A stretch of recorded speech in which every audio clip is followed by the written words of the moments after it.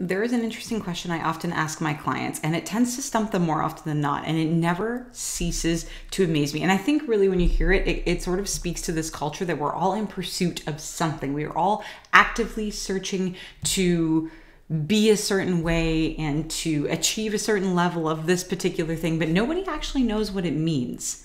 And I see it time and time and again. I have tested it many, many times. So I know it's the truth. But a lot of my clients will say to me, Denise, I just want to be happy. I just want to be happy. Why can't I be normal? Why can't I just be happy? Why can't I feel satisfied? What is wrong with me? And it's the same set of questions that come up time and time again. And what often stumps them is when I turn around and I say, okay, you want to be happy, but how will you know when you get there? And they, every time it's like, and they pause and they think, and I just wait because sometimes silence can be the greatest indicator of a particular situation or a particular response or a particular point of view. And I just wait. And I wait. And often they come back and they'd be like, I don't even know. How do, I don't know. I just want to feel normal. That's usually the follow up question. And then the same thing goes back. How how will you know when you're normal? What does normal mean? And again, silence, same response, same thing. And this really speaks to this like societal way of us all chasing for something. Like we're all chasing for happiness. There's even like the pursuit of happiness. It's a movie, it's like it's all over the place. We're all chasing it.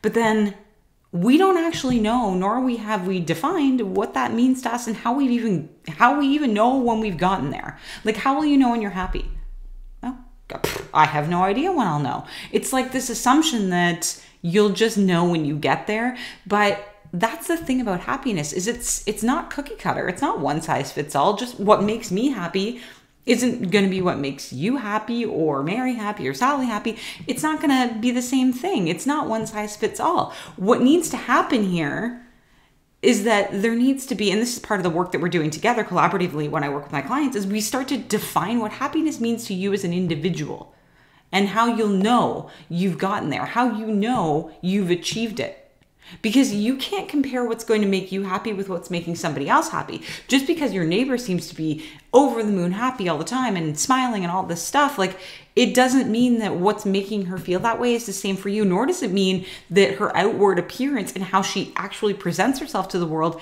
is what is going on behind closed doors. Because many people, I mean, I did this myself, kind of put on this show, put on an act, put on a mask that they are very, very, very happy in order to appease other people and to not let other individuals know around them what's really going on behind closed doors. Because there's also and like this element of shame, like we're shamed for not feeling happy all the time. And this is often what I get from my clients too. Like, I should be happy. I have all these things. Why am I not happy? I should be happy. So we start to shame ourselves for not having achieved this level of happiness when we haven't even defined for ourselves what that means even to begin with. So then we're shaming ourselves for something we haven't defined for ourselves in the pursuit of chasing something that isn't meant for us. Did you keep up with that? Because I was chasing around in circles. But it's important for you to understand that before you can achieve happiness, you have to know what it looks like for you. It can't be what it is like for other people. It just can't be because that's not that's not who you are. The brilliant part about us as human beings is that there is not a single one of us that is that exactly the same. Even identical twins.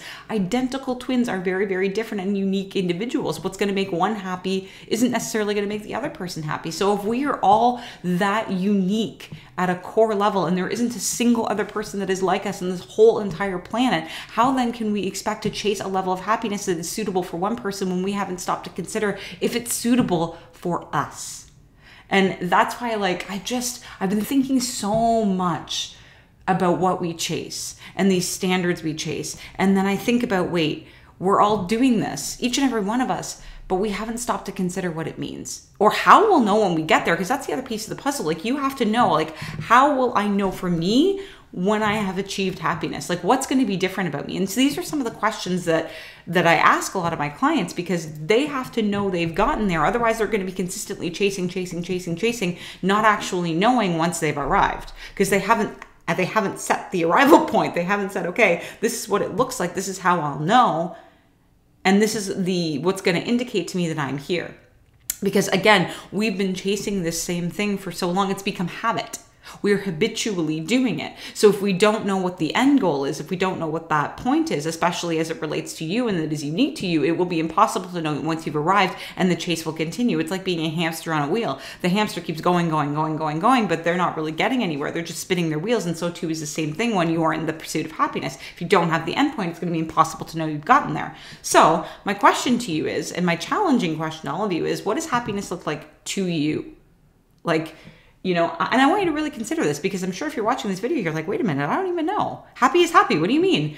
But but that's not necessarily the case. Like if if you really really sit back and think about it it's a bit of an existential question actually to be honest because you get to create that for yourself. And it's a good it's a good exercise to show you that you can create for yourself. You can determine what that looks like for you. It's very empowering when you say, "Okay, I will know I have reached happiness at this point. I this is what happiness means to me." Use this as a journal prompt. What does happiness mean to me? Write that at the top of the paper.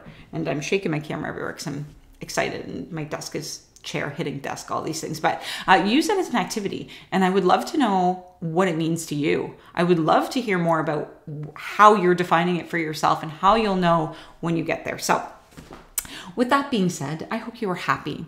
I hope you're happy, healthy. Oh my God.